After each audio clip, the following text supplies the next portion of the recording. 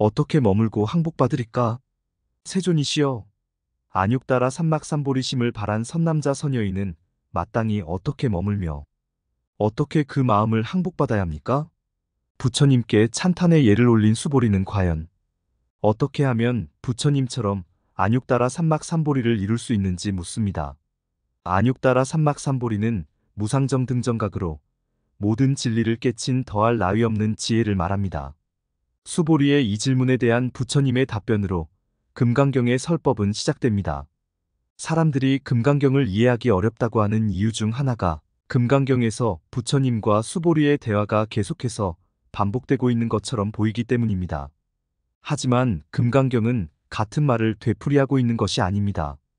또 얼핏 보면 수보리의 질문과 부처님의 답변 사이에 단절이 있는 듯이 보이는데 이는 부처님이 단순히 수보리가 물어본 질문에만 답을 하신 게 아니기 때문입니다. 부처님은 수보리가 마음속에 어떤 의심을 품으면 곧 그 의심을 알아차리고 그에 대한 설법을 하십니다.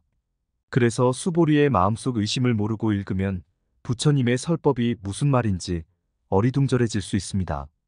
그러므로 보살의 마음을 바라니가 아니면 즉 수보리의 마음이 되지 않으면 경전을 이해하기 어렵습니다.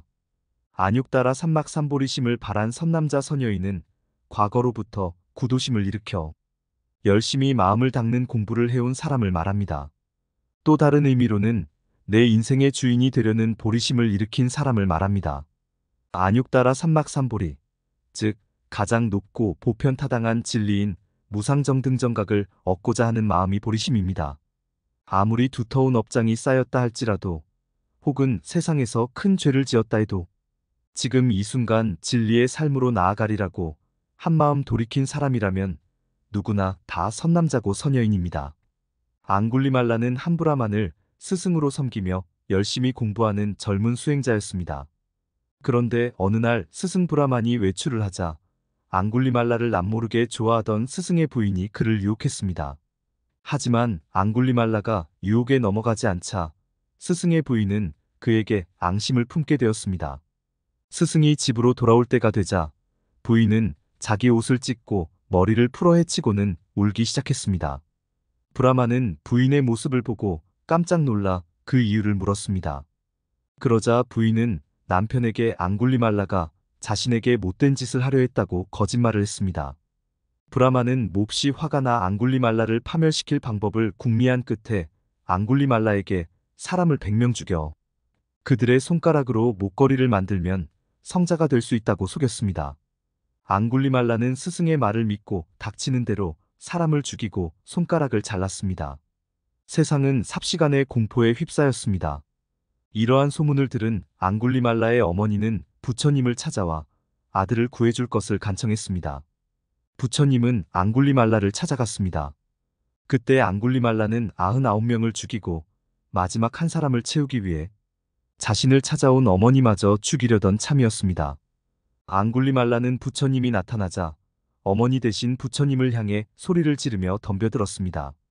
하지만 앙굴리말라는 아무리 있는 힘을 다해 뛰어가도 부처님을 따라잡을 수가 없었습니다.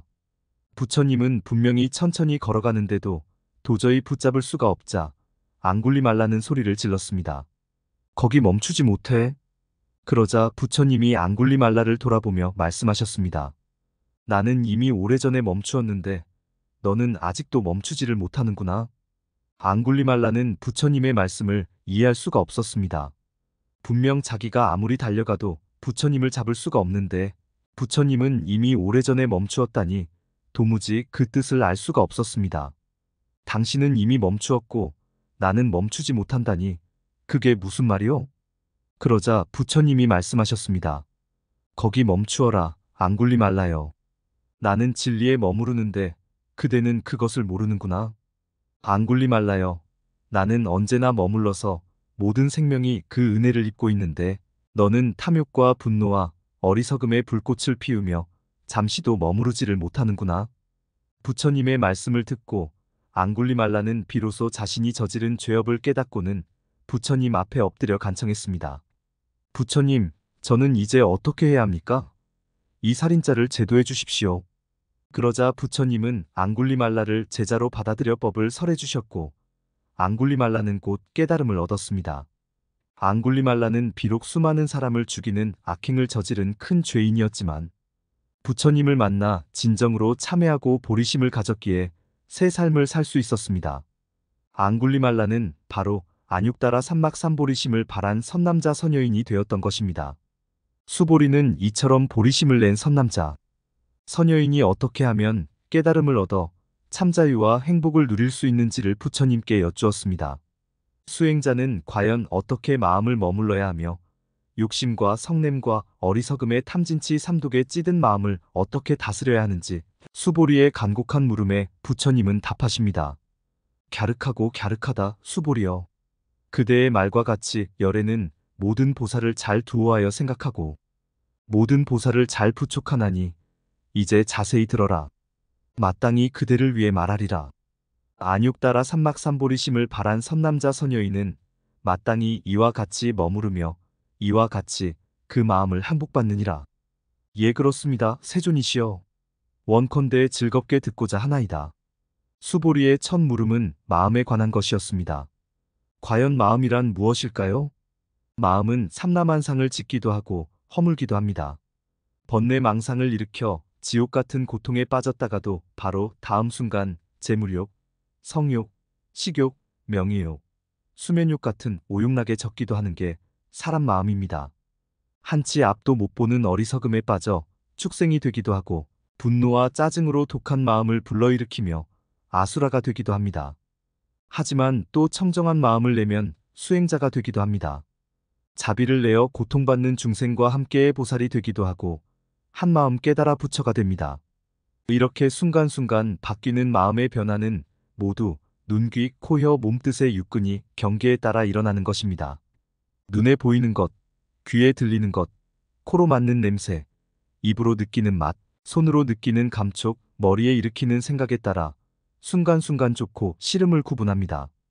육조 해능대사의 일화는 마음이 얼마나 순식간에 바뀔 수 있는지 보여줍니다.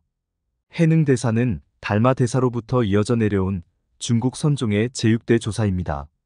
6조 해능대사가 5조 홍인대사로부터 법을 전수받을 당시 그는 머리 기른 행자에 불과했습니다. 그런 해능이 법을 전수받자 홍인대사의 제자들은 해능이 법을 훔쳐갔다고 분개해 해능 대사의 뒤를 쫓기 시작했습니다.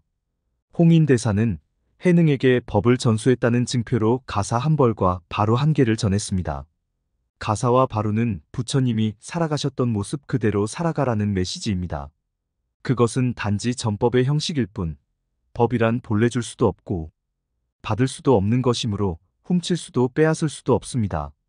하지만 해능 대사의 뒤를 쫓던 이들은 오종인 대사로부터 받은 가사와 바로를 빼앗기만 하면 자신이 육조가 될 수 있다고 생각했던 것입니다. 해능을 쫓던 무리 가운데 해명이라는 사람이 있었습니다. 그는 저만치에서 도망가는 해능을 발견하고는 있는 힘을 다해 쫓아가 거의 따라잡았습니다. 혜능은 더 이상 도망칠 수 없게 되자 들고 있던 발우와 가사를 바위 위에 올려놓고 그 뒤로 몸을 숨겼습니다. 혜명은 발우와 가사가 이제 자기 차지가 되었구나 싶어 뛸 듯이 기뻐했습니다. 하지만 혜명이 아무리 애를 써도 발우와 가사를 집어들 수가 없었습니다. 발우와 가사는 마치 바위에 딱 달라붙은 듯 떨어지지 않는 것이었습니다. 그제야 해명은 법이란 것은 욕심낸다고 되는 것이 아님을 깨닫고는 바위 뒤에 숨어있는 해능에게 법을 청했습니다. 나는 법을 위해 왔지 옷을 위해 온 것이 아닙니다. 그러자 해능 대사가 해명에게 물었습니다. 조금 전 마음은 무슨 마음이고 지금 마음은 무슨 마음입니까? 육조가 되겠다는 욕심으로 바로와 가사를 움켜쥐던 마음이 순식간에 법을 청하는 마음으로 변한 이치를 돌아보라는 뜻이었습니다. 해능 대사의 간단한 질문 한마디에 해명은 그 자리에서 깨달음을 얻었습니다. 마음이란 그런 것입니다. 그러니 최상의 깨달음을 얻고자 하는 선남자 선여인이라면 다른 무엇보다도 자기 마음을 어떻게 머무르고 어떻게 다스려야 할지가 첫 번째 숙제입니다. 그렇게 보리심을 일으켜야만 윤회의 수레바퀴에서 벗어날 수 있습니다. 간절히 일으킨 보리심은 하나의 씨앗이 되어 언젠가는 싹을 틔워 깨달음을 얻게 합니다. 그래서 대승불교에서는 발보리심, 그 중에서도 초발심을 특히 중요시합니다. 그런데 처음 보리심을 일으키는 것만큼이나 그 마음을 지속적으로 밀고 나가는 것도 참으로 어렵습니다. 보리심을 붙들어 깨달음으로 나아가려면 스스로에게 엄격해야 합니다. 이제껏 내 삶을 지배해온 욕망과 집착을 버려야 함을 깨달았다 해도 긴 세월 몸에 밴 습관은 쉽게 사라지지 않습니다. 그런 오래된 습관에서 벗어나 진리를 얻으려면 어떻게 해야 하는지 수보리는 이렇게 보리심을 낸 이들의 절실한 마음을 대신해 묻습니다.